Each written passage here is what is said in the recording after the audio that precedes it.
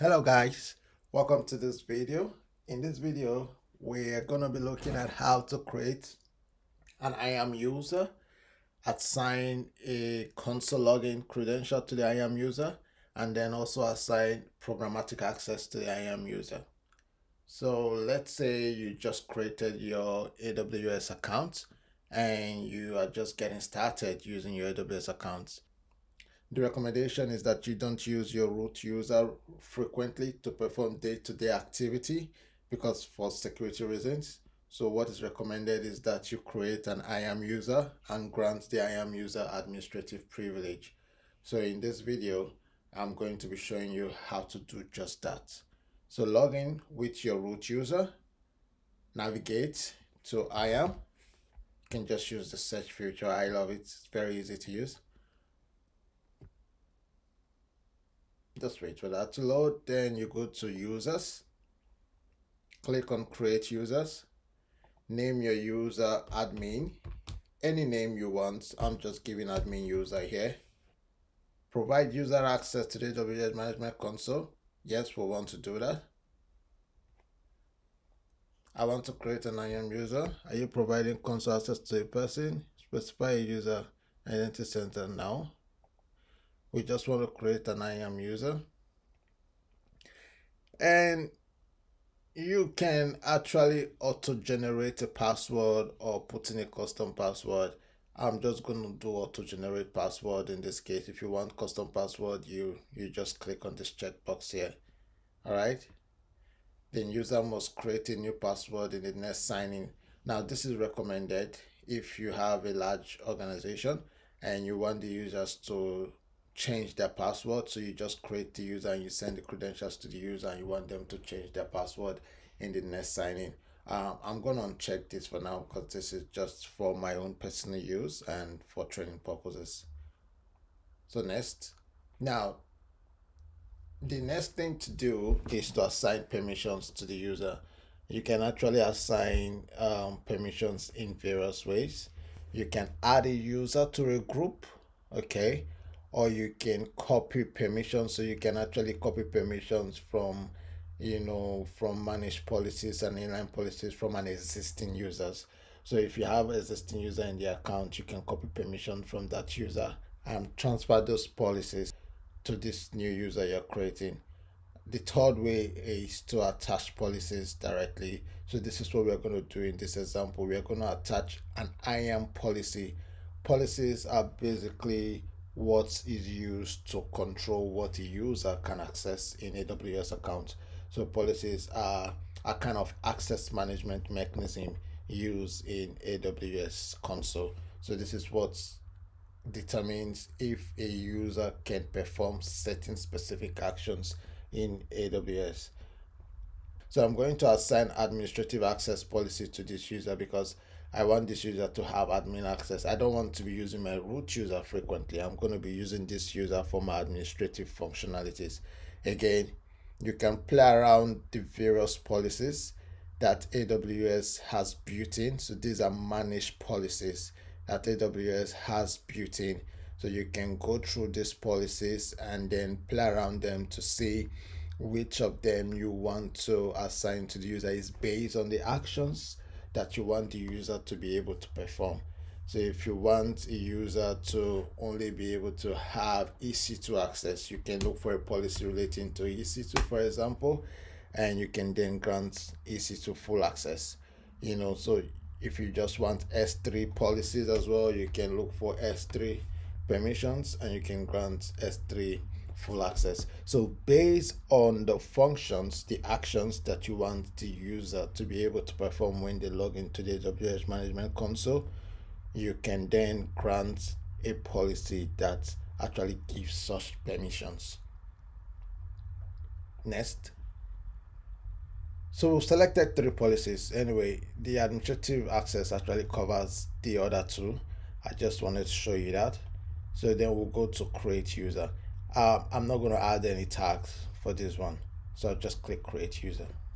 We have created our new AWS IAM user and the password has been generated for us. I'm going to download the CSV file there now and you can then send that to the user all right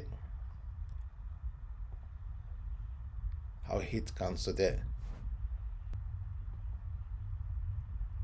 before we go on to test this user's credentials let me show you how to create access keys and secret keys for this user so that the user can be able to programmatically call AWS APIs using the policies and the permissions that you've attached to the user. So we'll go to the security credentials tab. Now we already see the user have console access, but where we want to go to is access keys. We want to create access key for this user and we want the user to be able to use this access key using the command line interface. So which is they're going to be able to use the aws cli so you basically tells you you can create access keys for different purposes. Here you see you plan to use this access key to enable the aws cli to access your aws account that's definitely what i plan to use it for now again local code this is for security reasons it's not highly recommended that you embed access keys and secret access keys into your code. So um, it's recommended that you use the secret management tool for that. So what we want in this our example is to create an access key that we can use in our local machine using AWS CLI. We just click I understand the above recommendation. I want to proceed to create an access key. Then hit next. I'll say AWS CLI for the description. Then I'll click create access key. It has created my access key. I'm just gonna download the file again. I don't want to click show so I don't expose this access key to you guys then I'll hit done. Okay now we've created our IAM user. We've created a console user name and password. Then we've also created access keys that we can use for programmatic access.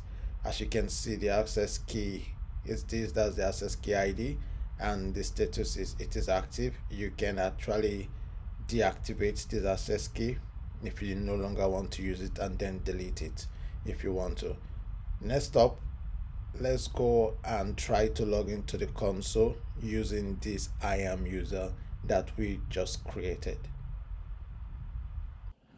I will log out as the root user, sign out, then I will go click on sign in. Now I want to sign in as an IAM user, so it's going to ask me for the account ID or account area. So I'll just get the account ID.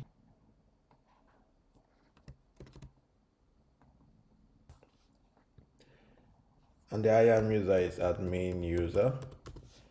I'll copy the password from the CSV file I downloaded.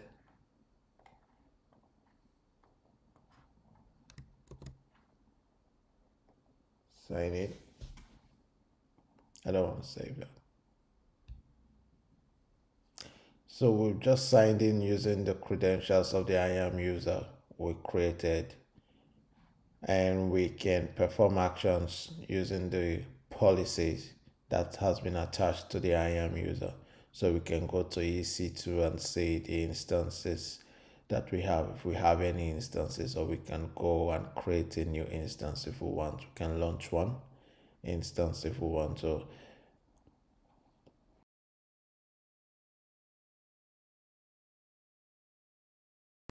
command line interface is an open source tool that enables you to interact with AWS services using commands in your command line interface from your local machine. So basically, it allows you to talk to AWS APIs. The same way when you log into the console and you click on buttons, you are calling APIs on the back end. With the command line so you will be able to call AWS APIs and be able to then perform actions in your AWS account. And I'm going to be showing you how to configure the AWS CLI using the IAM credentials we created earlier.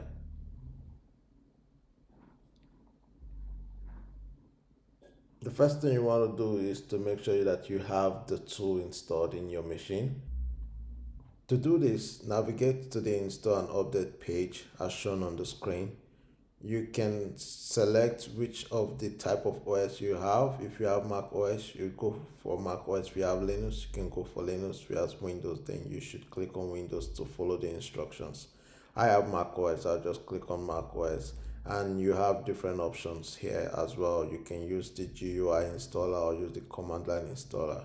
I prefer the command line installer so I've used the command line installer already uh, they want to keep you on the screen while running this so go ahead to run the instructions in this documentation and then when you're done installing the AWS CLI 2 we can continue the configuration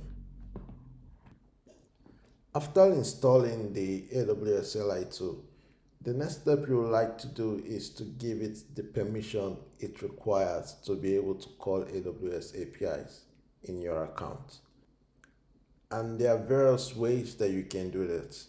You can do this using the command line option. This is what we're going to be doing in this video.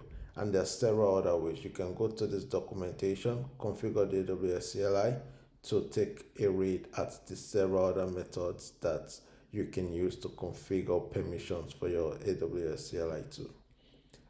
Now let's configure this using the command line option. To do this, we'll go back to our terminal.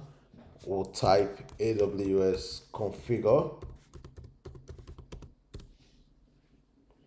It's to ask you for the access key. Remember, this is the access key ID that was generated for us when we created an access key and a secret access key for the IAM user we created earlier on.